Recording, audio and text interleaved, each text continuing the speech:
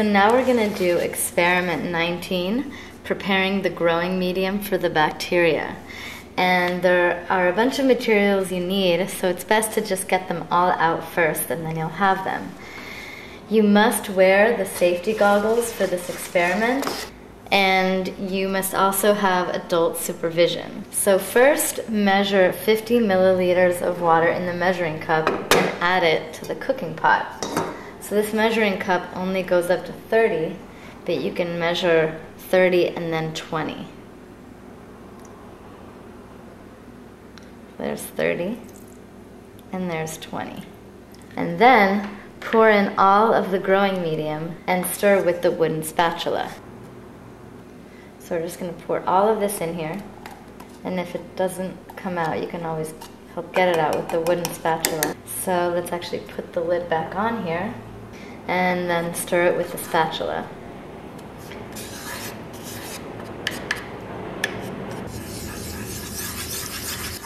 And when it's completely stirred in, let's put it on the stove and bring it to a boil. And once it's boiling, we can turn it off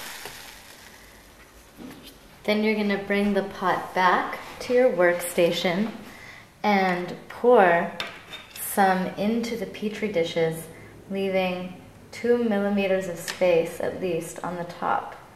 And then cover it right away because you don't want any bacteria in there just yet.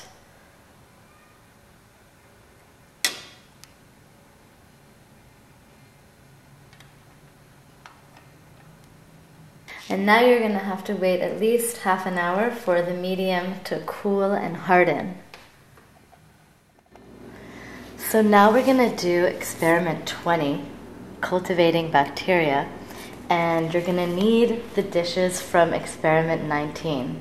So first, in order to know which bacteria we have in which parts of the dishes, we're going to divide each dish into quarters.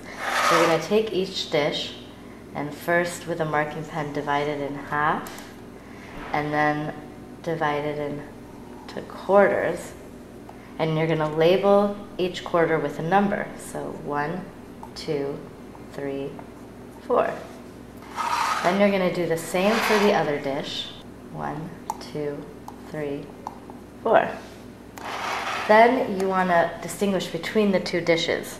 So we're going to label one dish A and the other dish B.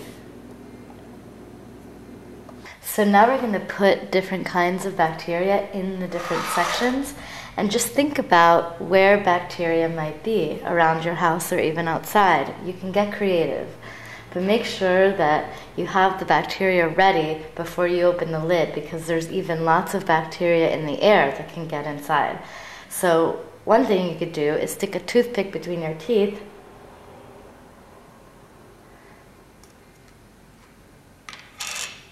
put that into one section. And then close the lid right afterwards. Another thing you can try is taking the sponge that you use to wash dishes and just squeezing a little drop. You could take some soil from a potted plant.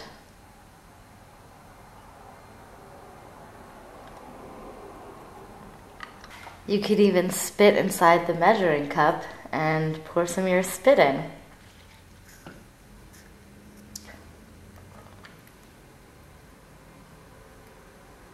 When you're done with each dish, you want to take some plastic wrap and wrap it around the edge of the petri dish so that it stays well closed and sealed.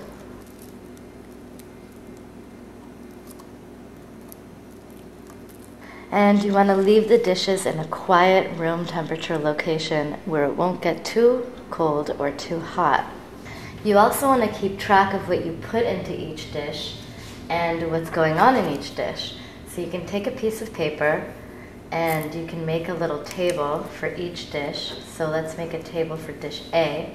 I have one, two, three, and four.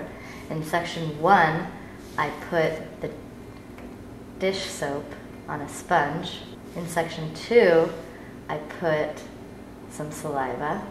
In section three, I put some soil from a house plant. And in section four, I put stuff that was between my teeth. So now I can make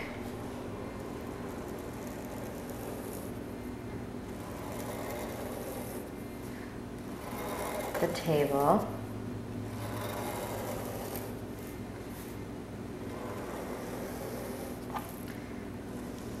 And add columns for every 24 hours. So today is Thursday. So I can check it every day for a couple days to see how it's changing. So today I'm going to paint a little picture and make some notes. So the dish soap was kind of white.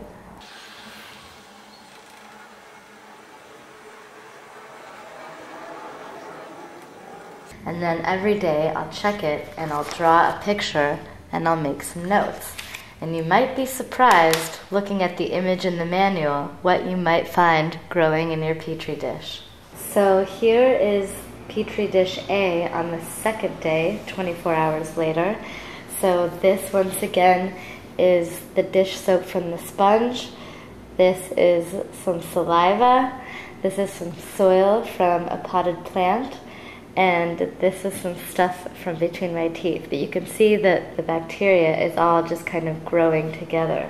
And you would once again fill in the corresponding cells in the table for 24 hours later, making a little image of what it looks like and writing a description.